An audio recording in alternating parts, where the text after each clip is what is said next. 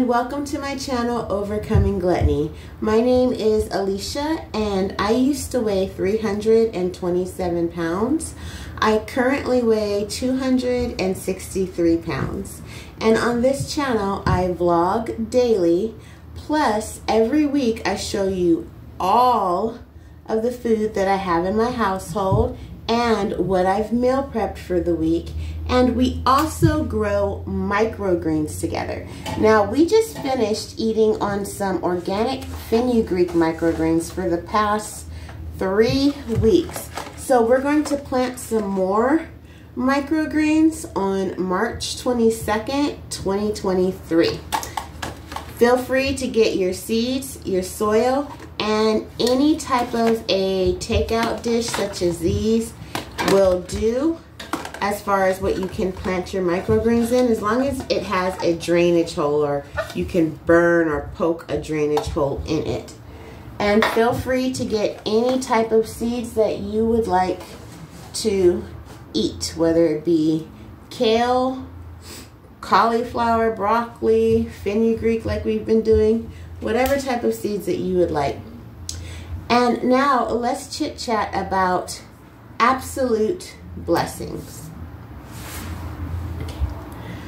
Some of us are really striving to stay on track with our health goals, our New Year's resolutions, and so forth.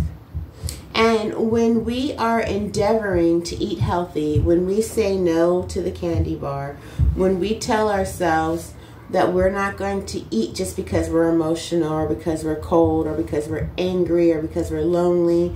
When we make positive health choices for ourselves, sometimes we may do it with a begrudging attitude or spirit. I know at times I feel like I want to misbehave I feel like I want to go back to being gluttonous just for a moment. You know, let me just pig out on this. Let me just eat the meat that I've chosen to give up three months ago. I don't feel that way often, but those times do come. And what I do in order to prevent myself from going down that road is I remind myself of the negative consequences of those behaviors. I think about the people in my family who literally don't have teeth because of poor eating choices.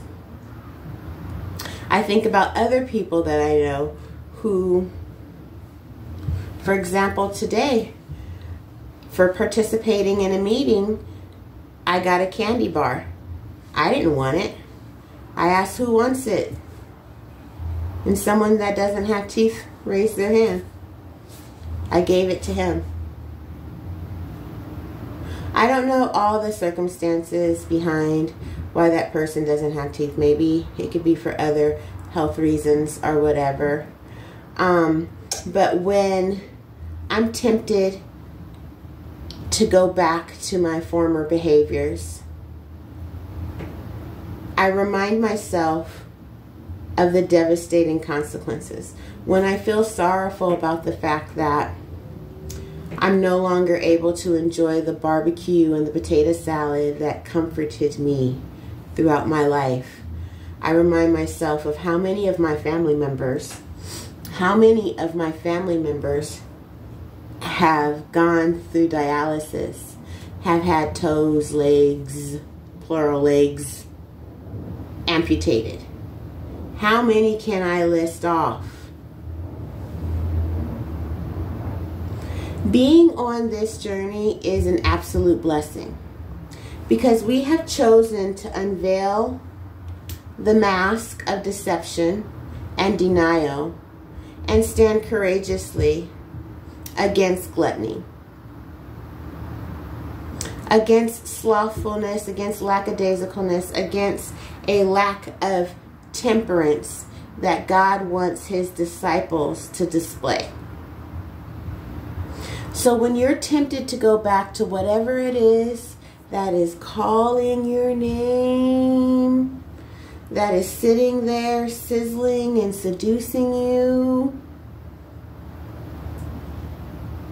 You can choose one of my techniques, which is to remind yourself of the negative consequences of indulging in that.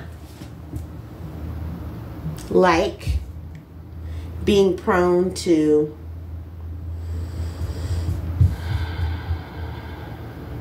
crave it because they have addicting chemicals in there for you to crave it. That's been my experience with Oreo cookies. Or like with Lay's potato chips when they say you can't eat just one. I know, that's true. So you can try some of the techniques that I offer here on this channel or you can come up with something that works for you. But I would like for you to have the mindset and for us to have the mindset that this journey is not a begrudging experience of denial and restriction. This is an absolute blessing,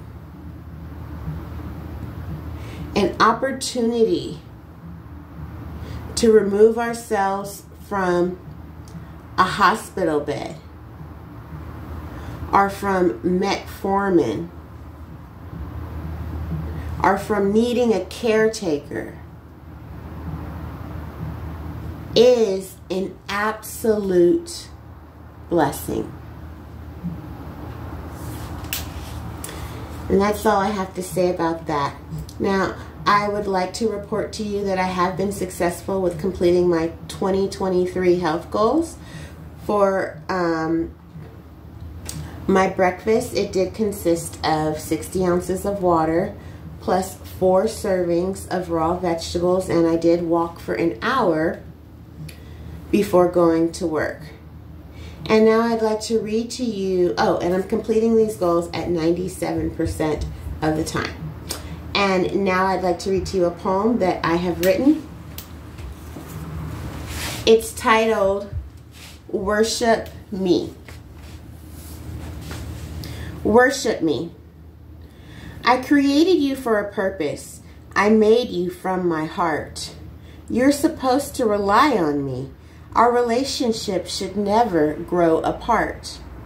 There are many things that you seek and shall never find unless you allow your comfort to rest in the hands of the divine. The world is filled with pleasures, snares, and traps to lead you astray. Monitor your outlook on life. My words faithfully obey. I am not a decoration to be placed on top of your shelf. I am the force that controls the universe. In me only is there any wealth. Your opportunity for peace rests in me alone. There is no other substitute, no matter where you roam. Worship me. Thank you all so much for your time. I will see you later. Goodbye, and thanks for spending this time with me. See you later.